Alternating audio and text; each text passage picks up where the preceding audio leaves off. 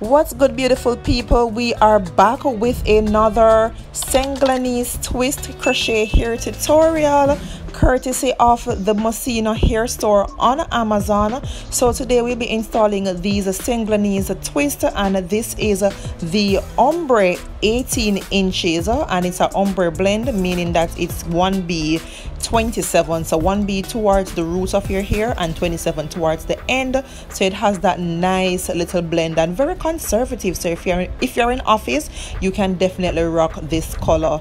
So the hair is also pre-loop which you know is going to be so easy to install. As you can see there the, the loops so easy to unravel. Just a bit and the hair also comes with a, a complementary crochet hook as well as your hair jewels. So guys let's get into today's video. A section of my hair off camera which is literally just parting my hair into two sections because we'll be doing the individual illusion towards the front of our hair which I started by and then I'll be doing some individual actual install towards the front. So i'm gonna start um, by parting a section towards the front. We'll be doing like having those individual installs so we're going to give the illusion as if all our hair was individually done even though it's crochet. So this is a hack that you definitely need. So i'm gonna start off with doing the individual illusion first which is like towards the middle of my hair. So i'm just making like small boxes and i'm gonna go ahead and plait that from the root maybe about a half an inch thereabouts. Yes and then what i'll do is to join that one to the other to the other one towards the back and this will be repetitive pretty much throughout the middle of the hair because what you want it the this to look like is as if your complete head of hair was actually braided in individually even though you know it's crochet. So this is definitely a hack that i really like to do. If you're an avid watcher of my videos you know this is uh, one of my favorite go-to to install my crochet um, hairdos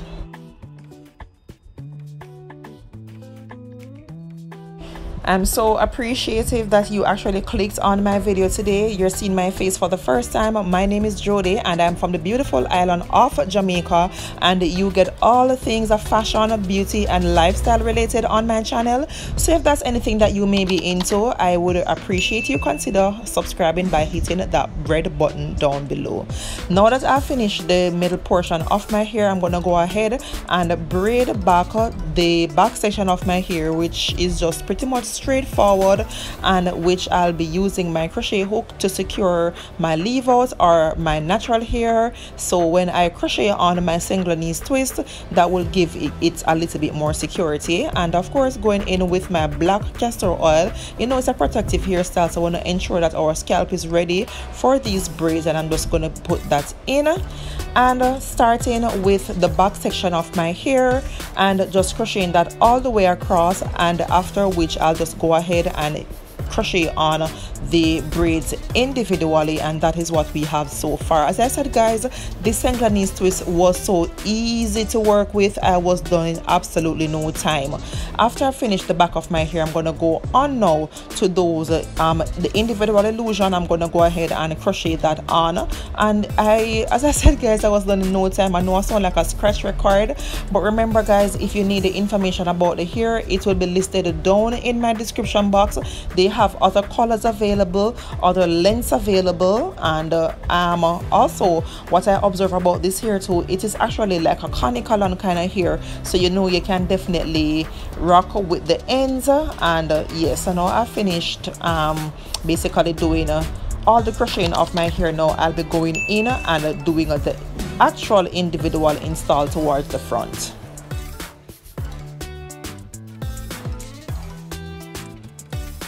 so I've done most of them off camera and I'm just going in with my uh, um, hair wax or my edge control um, just basically to get my part a little bit more defined. And guys remember when you're doing that you don't need to grab all your edges. As you can see mine are very thin. So I try to be mindful of not to gripping it too much. Then what I'll do is use a wax to basically twirl that around. Now I'm grabbing one of my Senegalese twists and I'm going to pretty much unravel it. And I just pretty much unravel it using one finger while untwisting it all the way down. And it's as easy as that to get the hair the twist unraveled so after which then I'll just try to find the middle portion of the hair which I had initially and it's very defined right there. And then I'm going to go ahead now and plait that on to my hair. So I'm going to plait it maybe about five to six times. You don't want it the plait to be too far away from the root because you want it to seem as if you are twisting away from the root. After which I'll just separate my natural hair into two as how the Senegalese twist are. And then I'll go ahead and go back into the formation of the original twist that it had by uh, um, basically twining the twist in opposite ends and it eventually just twists um, itself. That's the best way I can explain it and I'm just going to twist all the way out to the end so this is what it is looking like and so we have our individual and i'm gonna go ahead and do that just once more guys. Super easy to do. I had about five or six towards the front so yeah no big deal. It doesn't doesn't take a lot of time to get done. So i know you'll be wondering how many packs of hair did i use? I used one pack of hair and throughout the end of the video i'm going to show you what i had left over.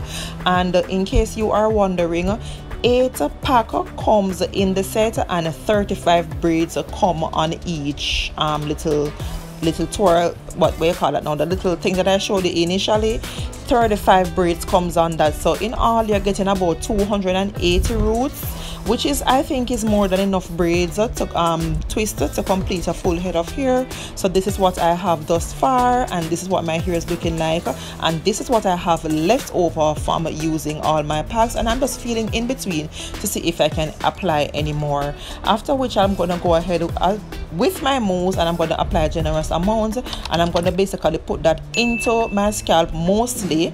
And then of course you know we have to get those edges laid and this is what the hair is looking like with just as it as it is. And as you can see it's you don't know you wouldn't know that I did not install each of them individually. So as I said before guys the hair has that hot water setting meaning that it can be curled and we know we're in the summertime and the curly ends are rocking so i'm gonna go ahead and uh, rather set my ends by just basically putting them on a rod. You can use a flex rod if you have those in ha- on hand. I still had these and i just hot water it um put those to dry removed it and that is what my curls are looking like. After which you know i'm gonna go ahead once more and apply a little bit of mousse and basically brush that out. And i like the fact that the hair is so light it's so versatile it is just everything and the color is absolutely beautiful